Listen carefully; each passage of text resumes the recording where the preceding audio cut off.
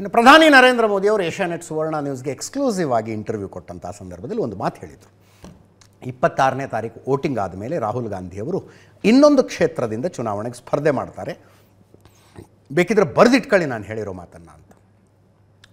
ಕೇರಳದ ವಯನಾಡಿನಿಂದ ಕ್ಯಾಂಡಿಡೇಟ್ ಆಗಿದ್ದಾರೆ.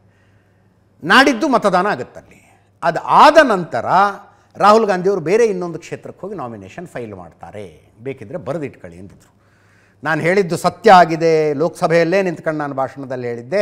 ಈ ಸಲ ಕಾಂಗ್ರೆಸ್ನ ಘಟಾನುಘಟಿಗಳು ಲೋಕಸಭೆಗೆ ಸ್ಪರ್ಧೆ ಮಾಡೋದಿಲ್ಲ. ರಾಜ್ಯಸಭೆಗೆ ಬರ್ತಾರೆ, ನೋಡಿರಿ ಅಂತ ನೋಡ್ತಾ ಇರಿ ಅಂದಿದ್ದೆ. ನಾನು ಹೇಳಿದ್ದು ಸತ್ಯ ಆಗಿದೆ ಅಂದರು. ಸೋನಿಯಾ ಗಾಂಧಿ ಅವರ ವಿಷಯ ಮಾತು ಅವ್ರನ್ನ ತಲೆಯಲ್ಲಿ ಇಟ್ಕೊಂಡು ಹೇಳಿದಂಥ ಮಾತು. ಈಗ ಹೌದಾ ಅನ್ನಿಸ್ತಾ ಇದೆ. ರಾಹುಲ್ ಗಾಂಧಿಯವರು ಅಮೇಥಿಯಿಂದಲೂ ಸ್ಪರ್ಧೆ ಮಾಡ್ತಾರೆ. ಅಮೇಥಿ, ರಾಯಬರೇಲಿ ಎರಡು ಕಡೆ ಕಾಂಗ್ರೆಸ್ನವ್ರು ಕ್ಯಾಂಡಿಡೇಟ್ ಅನೌನ್ಸ್ ಮಾಡಿಲ್ಲ. ಎರಡು ಕಡೆ. ದೊಡ್ಡ ಚರ್ಚೆ ಇದೆ. ಉತ್ತರ ಪ್ರದೇಶವನ್ನು ತೊರೆದು ಬಿಡುತ್ತಾ ಗಾಂಧಿ ಕುಟುಂಬ ಅಂತ. ರೈಟ್ ಫ್ರಮ್ ಫಸ್ಟ್ ಎಲೆಕ್ಷನ್ ಮೊಟ್ಟ ಮೊದಲನೆಯ ಚುನಾವಣೆಯಿಂದ ಇಲ್ಲಿ ತನಕ ಅಮೇಥಿ, ರಾಯಬರೇಲಿ, ಫಿಲಿಬಿಟ್ಟು ಒಂದಲ್ಲ ಒಂದು ಕಡೆ ಗಾಂಧಿ ಕುಟುಂಬದವರೊಬ್ಬರಿಗೆ ಸ್ಪರ್ಧಿಸ್ತಾರೆ, ಗೆದ್ದು ಬರ್ತಾ ಇದ್ದಾರೆ. ಗಾಂಧಿ ಕುಟುಂಬ ಉತ್ತರ ಪ್ರದೇಶದಿಂದ ರಿಪ್ರೆಸೆಂಟೇಷನ್ ಇಲ್ಲದೆ ಏನು ಎಮರ್ಜೆನ್ಸಿ ನಂತರದ ಚುನಾವಣೆಯೊಂದನ್ನು ಹೊರತುಪಡಿಸಿದ್ರೆ ಯಾವ ಲೋಕಸಭೆಯೂ ಇರಲಿಲ್ಲ. ಅಲ್ಲಿ ಸ್ಪರ್ಧೆ ಮಾಡ್ತಿದ್ರು.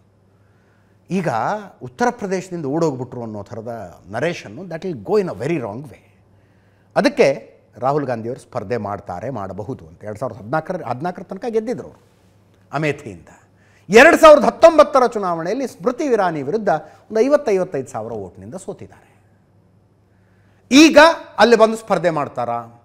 ರಾಬರ್ಟ್ ವಾದ್ರಾ ಕೂಡ ಮಾತನಾಡಿದ್ರು. ಒಂದು ಏಜೆನ್ಸಿ ಜೊತೆಗೆ ಮಾತನಾಡುವಾಗ ನನಗೆ ತುಂಬ ಒತ್ತಡ ಇದೆ, ನಾನು ಕನ್ಸಿಡರ್ ಮಾಡ್ತೀನಿ ಅಮೇಥಿಯಿಂದ ಸ್ಪರ್ಧಿಸುವ ಬಗ್ಗೆ ಅಂತ. ಅದಕ್ಕೆ ಸರಿಯಾಗಿ ಅಮೇಥಿ ಜಿಲ್ಲಾ ಕಾಂಗ್ರೆಸ್ ಕಚೇರಿಯ ಮುಂದೆ ರಾಬರ್ಟ್ ವಾದ್ರಾ ಅವರ ಪರವಾದ ಅಬ್ಕಿ ಬಾರ್ ರಾಬರ್ಟ್ ವಾದ್ರಾ ಅಂತ ಪೋಸ್ಟರ್ಗಳು ಕೂಡ ಕಾಣಿಸಿಕೊಂಡವು. ಈಗ ಅಲ್ಲಿನ ರಾಹುಲ್ ಗಾಂಧಿಯವರ ಮನೆ ರಿನೋವೇಟ್ ಆಗ್ತಾ ಇದೆ ಏಕಾಏಕಿ. ಐದು ವರ್ಷ ರಿನೋವೇಟ್ ಆಗಿರಲಿಲ್ಲ, ಸಹಜ, ಅವರು ಇರಲಿಲ್ಲ ಅಲ್ಲಿ.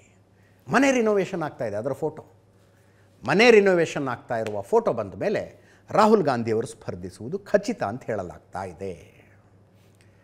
ಮೊದಲೇ ಅನೌನ್ಸ್ ಮಾಡಿಬಿಟ್ರೆ ವಯನಾಡಿನ ಜನ ಏನು ಅನ್ಕೋತಾರೆ? ವಯನಾಡಿನಲ್ಲಿ ಇವರ ವಿರುದ್ಧ ಎಲ್ ಡಿ ಎಫ್ ಇದೆ, ಕಮ್ಯುನಿಸ್ಟ್ ಪಕ್ಷ. ಅವ್ರು ಹೇಳ್ಕೊಂಡು ಬರ್ತಾರೆ.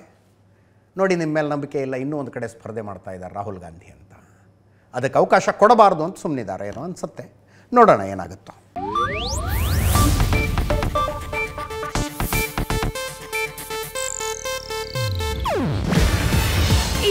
ಏಷ್ಯಾನೆಟ್ ನ್ಯೂಸ್ ನೆಟ್ವರ್ಕ್ ಪ್ರಸ್ತುತಿ. ನೀವು ನೋಡ್ತಿದ್ದೀರಾ ಏಷ್ಯಾನೆಟ್ ಸುವರ್ಣ ನ್ಯೂಸ್.